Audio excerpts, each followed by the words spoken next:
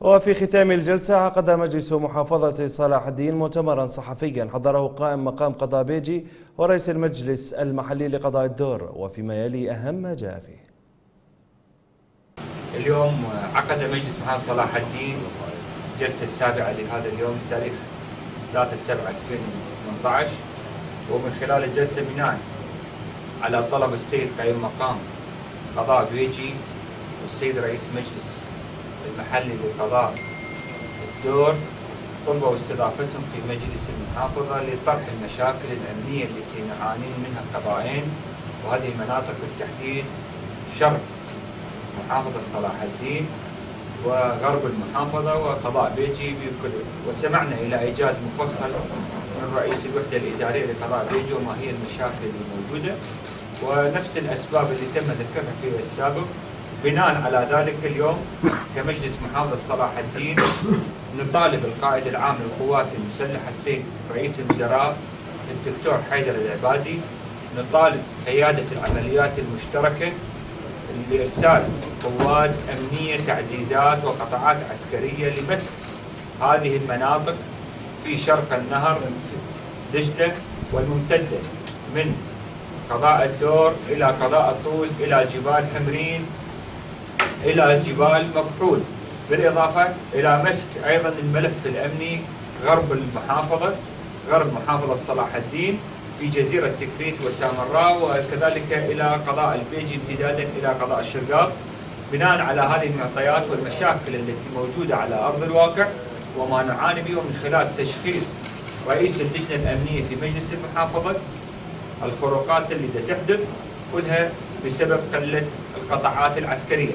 اليوم نحن لا نحمل قائد عمليات صلاح الدين المسؤولية ولا نحمل قائد عمليات سامراء المسؤولية ولكن نحمل المسؤولية إلى القيادة العامة في بغداد كالعمليات المشتركة كالقائد العام للقوات المسلحة وذلك بسبب النقص الحاد بالقطاعات العسكرية الموجودة لدى قيادة العمليتين بالإضافة إلى الفوضى الموجودة بعدم قيادة لاتخاذ القرار على مستوى القيادات الأمنية سواء كانت جيش أو شرطة أو حشد شعبي اليوم الحشد الشعبي متواجد ماسك بعض الخطوط الصد في مناطق آه، ما بين الحدود الفاصلة ما بين صلاح الدين والموصل والأنبار من جهة الغرب ومن جهة ومن بحيرة الثرثار وغيرها إضافة من قبل سرايا السلام وقوات الحشد الشعبي. بالإضافة إلى شرق النهر اليوم لدينا بعض القطاعات لكن ليس بالمستوى المطلوب. هو سبب اليوم هذه قلة القطاعات سواء كان حشد شعبي أو جيش. في هذه المناطق هنالك هفوات وهنالك حركة. يوم أمس كان هجوم على قبيلة شمر في منطقة النعمة.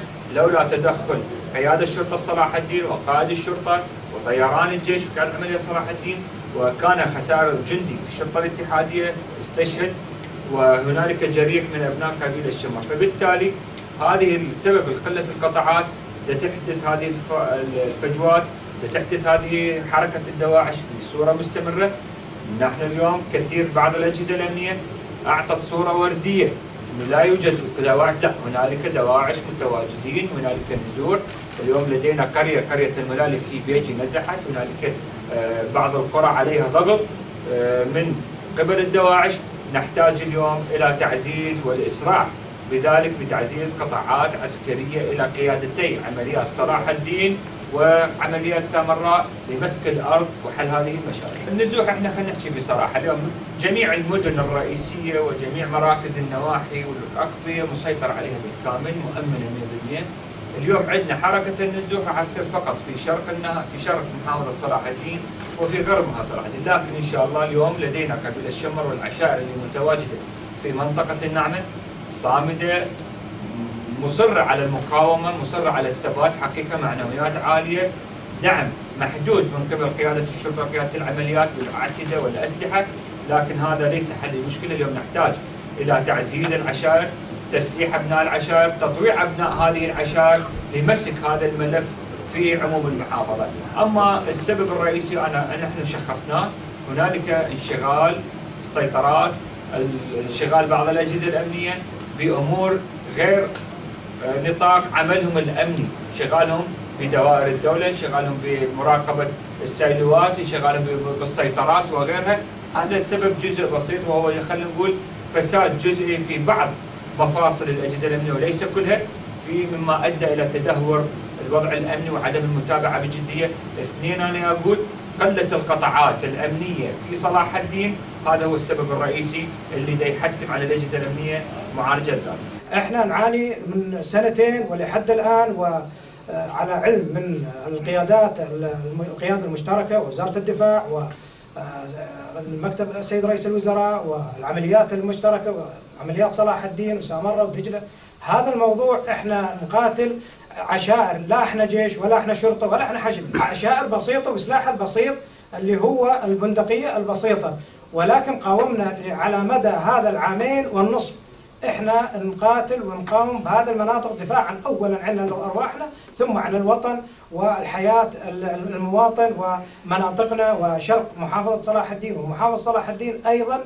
الآن بدأت بغرب صلاح الدين تحدث هذه الحوادث وإحنا ناس مشتركة وأقرباء في المناطق وإحنا عشاء الوحدة واليوم نعاني من هذا الوضع الأمني. إحنا نريد جيش اليوم يمسك المنطقة المكان هذا هو مثلث ما بين ديالا وكركوك وصلاح الدين وهذا يشكل خطر على المحافظة وعلى بغداد وعلى أغضية وقصبات المحافظة. واليوم أنا من خلال أخواني وخلال هذا المجلس اليوم تحت الفرصة أناشد السيد الرئيس إلى أنه يتدامن الموضوع. يعني اليوم النساء بالعراء واليوم بشكل يومي هجمات داعش تتكرر من قرية العظيم والمبارك الفرحان وإلى حدود العيث والحسان ومطيبيجة الصلابخة إلى حد الناعمة ومنطقة الرمث وقرية الصمود.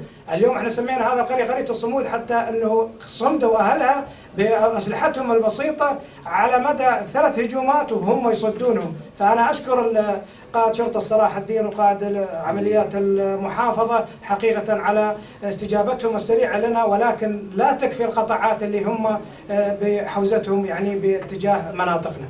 يعني أكثر يعني بحدود 180 يعني بحدود يعني 180 إلى 200 شهيد فقط من قبيلة شمر. ومن العشائر الأخرى اللي هي العبيد وشرق العلم وشرق الدور. في حالة عدم الرد إحنا يا أما أنه تتهجر المناطق يا أما أنه العشائر نفزع العشائر وتفزع عشائرنا والمجاورة معانا مع شمر للرد السريع على هؤلاء الإرهاب. الإرهاب بكل أشكاله مو فقط داعش الإرهاب جانا من كل الجوانب. فاليوم إحنا نقف وأنا أقف وهذا عقالي أرميه. ما ألبس عقالي. إذا ما يتحرر مناطقنا اليوم ومن خلال حكومتنا المحلية والحكومة المركزية، أنا ناشد السيد رئيس الوزراء أن لا يتركنا بهذا المهزلة وحريمنا اليوم تصيح وأطفالنا تتهجر وإحنا نقاتل. يوم بعد يوم ننطي ضحايا وننطي ممتلكات من شعبنا. فأنا أنا اناشد كافة الخيرين بالحكومة المركزية والأمنية والدوائر الأمنية اناشدهم اليوم بالتدخل السريع. لا يترك يترك الموضوع على عمليات دجله أو سامرة أو صلاح الدين. أيضا تريد دعم هذه العمليات واناشد الطيران طيران الجيش. أين طيران الجيش؟ من من هؤلاء الشراذم التي تقتل النساء وتقتل الأطفال وتهجر المواطن. فهذا الموضوع أنا يعني أناشدكم وأناشد الدولة المرك... الحكومة المركزية بهذا والتدخل ومن خلال مجلس المحافظة. رغم اني مسؤول اللجنة الامنيه في صلاح الدين ولكن عندي ملف كامل ومخطط لتواجد الدواعش الأخطر في الحويجة. امتدادا من حدود كركوك محافظة كركوك شمالا المناطق الغربية من مركز محافظة كركوك إلى أن تصل داقوق ويتواجدون ويشاهدون يوميا ويتسوقون من الأسواق وينتشرون في كل هذه المناطق. والدولة غائبه عن هذه المناطق ولم تجرى عمليات حقيقية ولا لم يتم تحرير المناطق بما يسمى بمعنى التحرير ولكن لا عمليات. وهؤلاء حتى وإن تمت عملية قد تتم عملية قريبا ولكن لا معنى للعملية تجرى مثل ما جرت العمليات السابقة.